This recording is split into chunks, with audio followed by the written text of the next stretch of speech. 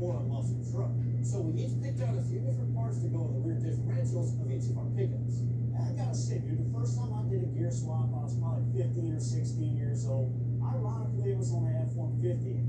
I was a bit skeptical. I mean, there's a lot of parts, it costs a lot of money, but uh, it's not that bad of a job if you just follow the simple steps and go through it. And I see you're taking two completely different paths. Well, you got that right. My truck came from the factory with a clutch-style limited slip differential. And this thing puts power down to both rear wheels, and it really burnouts all day long. So I've really got no reason to change this out.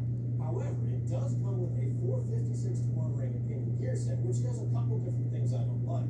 Number one, it limits my top speed to only 147 miles an hour. Number two, it gives the RPM when I'm cruising down the highway just a little bit higher range than I'd like it to be at, which causes me to drink just a little bit too much fuel.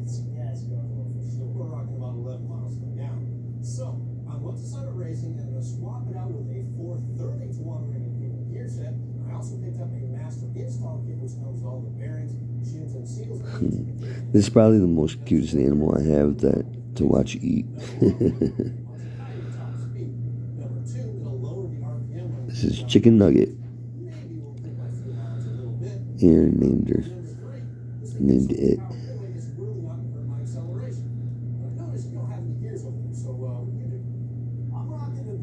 He's really getting into his dinner.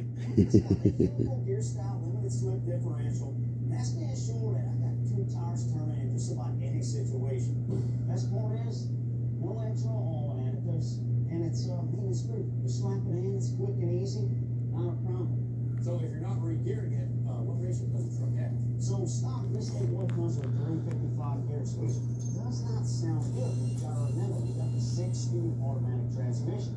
So our first gear ratio of 470 to 1, it actually turns out into a pretty nice drivable gear. And it's acceptable for me, I'm rocking.